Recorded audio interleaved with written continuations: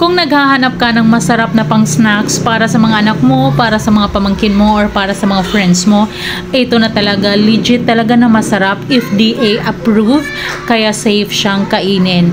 Masarap talaga tatlong flavors, laman ng ating choknut, merong cashew, almond, and uh, pistachio. So, yun yung tatlong flavors.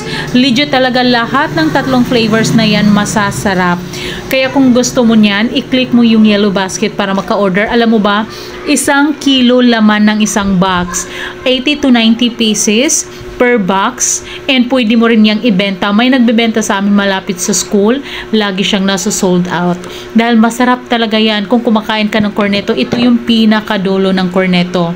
Kaya ano pang hinihintay mo? Click mo na yung yellow basket habang ito ay naka-promo. Dati itong 599, ngayon 200 plus na lang.